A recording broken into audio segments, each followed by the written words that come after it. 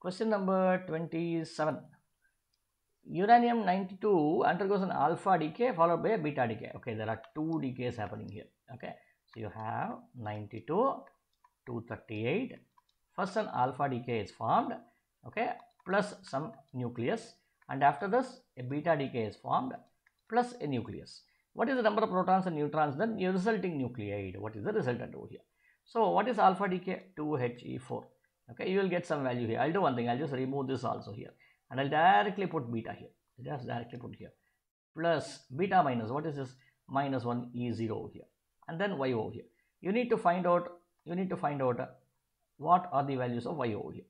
So towards it now 2 minus 1 is 1 this is 92 this should be 91 over here and here it is 0 plus 4 is 4 238 this should be 234 over here. So what I have done is I have balanced the mass numbers and the proton numbers that's it.